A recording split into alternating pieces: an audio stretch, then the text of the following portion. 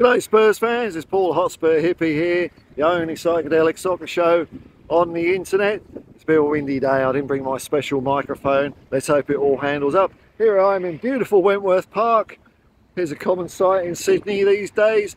I've always hated wood chip and mulch and it turns out that um, uh, one of the major suppliers has been bunging asbestos in it. So this is a very common sight in Sydney these days. Who thought that would be the end of old Sydney town?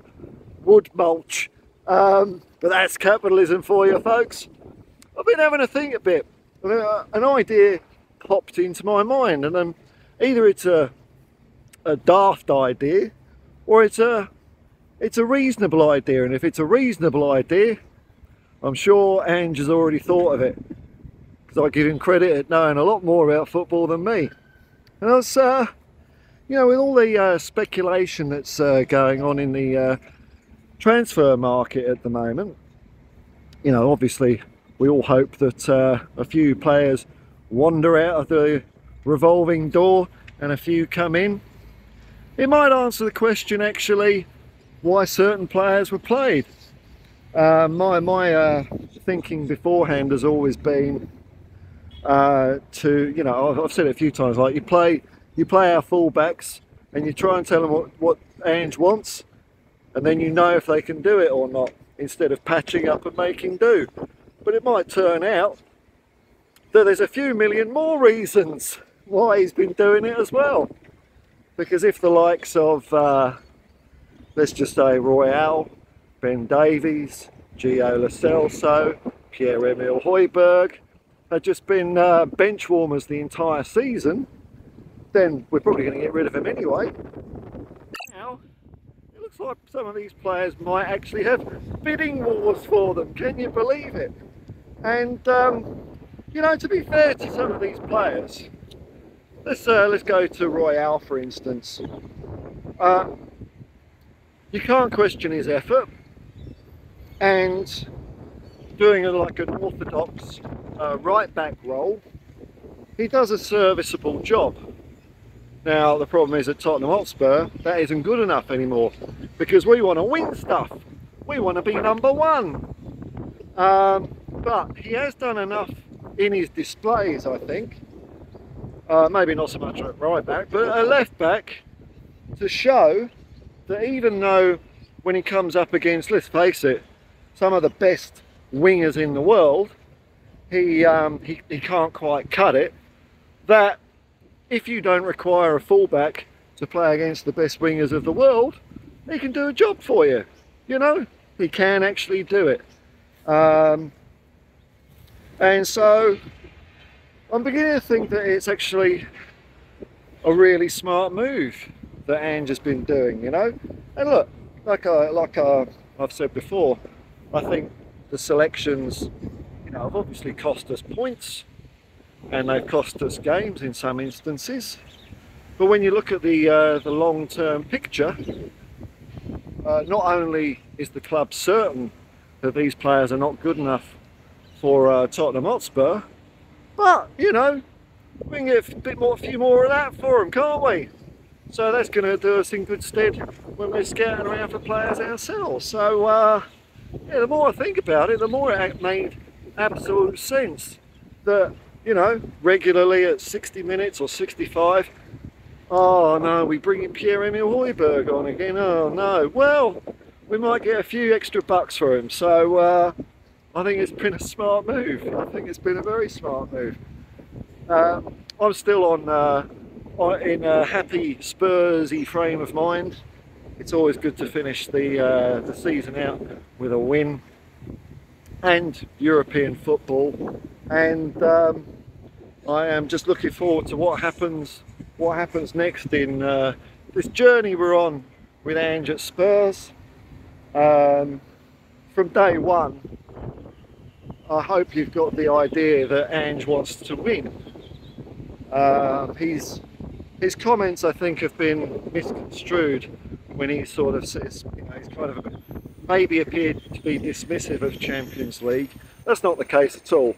It's the fact that he wants to be number one in the Premier League. And if uh, the club don't support him he, he won't be around. He won't be around. He, he wants to win. He wants to be number one, and that's it. And if he doesn't think that he's got the uh, resources to be able to do it, um, then I don't think he'll stand up for it. But the indications so far are pretty good that the club is behind him and is going to back him. And bear in mind, you know, we're not talking about uh, we're not talking about uh, a, a Jose or Antonio that uh, want the big dollar players today to win today. And also, in fairness to them, shorter term contracts as well, especially with Antonio. Um, I don't see really what a manager can do uh, in 18 months or less as it turns out, because he, he, did leave earlier. But when you've got a four year job to do, um, you can take your time a bit. You don't have to do that and we haven't been doing that. And we're, you know, uh, one thing I'm looking forward to this window is to get rid of the last, the last uh, stench hanging around the place of uh, the Hitchens era at Tottenham. Because, oh my God, if you talk about a uh, a guy that um, ensured that we were struggling for half a decade, it was that guy with the purchases he made, some of which are still hanging around. Um, and we've been doing smart purchases, you know. I think we have, you know, we've been, it's almost like we've got a, um, we're looking, we, we aren't looking just at the next couple of years. Look, we have bought some um, ready to go players like uh, Vicario, he's 26, which is young for a goalkeeper, and Maddison. Um, but we also have a nice pipeline of young talent. It's a it's a very young team we've got in, and I think it's a real credit to them actually that this year they they played so much better than I think anyone thought they would.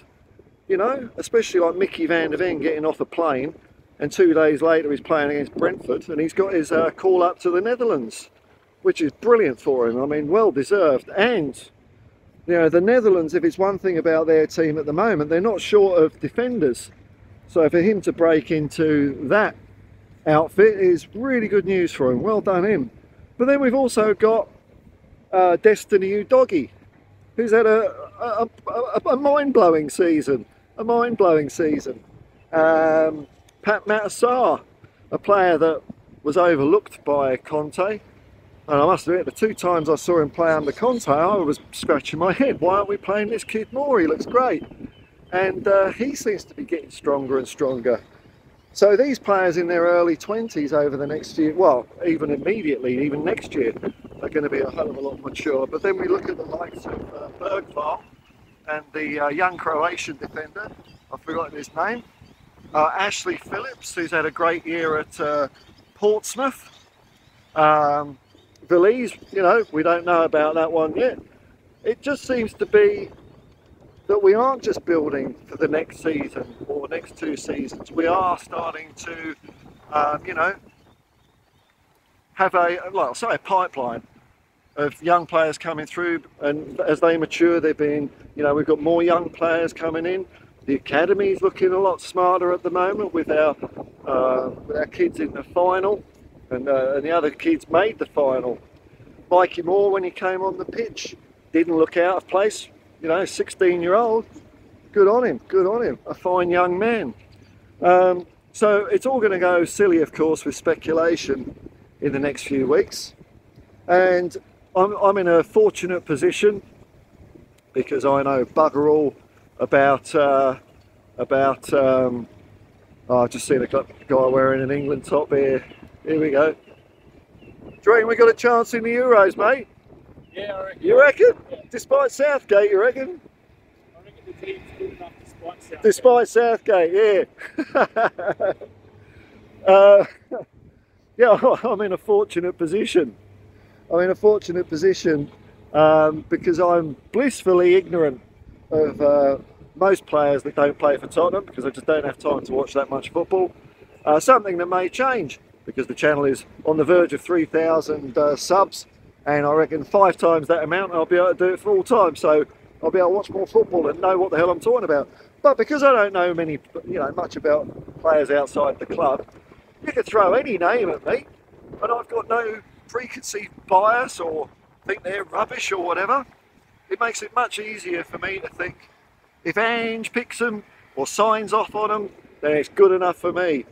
And when you think of the job he's done this year, getting us to fifth place, six points better than last year, and uh, losing our uh, losing 30 goals out the door a couple of days before the season starts, uh, a massive injury crisis, a dip in form, a dip in confidence. For us to actually get to that in the end, you've got to look at it as a damn good first season by Ange. And you know, a lot of the players, let's hope they, they learn a bit about mentality and steely resolve. And, um, you know, that they, they've learned something from their dip in form as well. Maybe some have, maybe some haven't. We will find out this window and we'll certainly find out next season. So I'm optimistic, folks. I think the future is bright.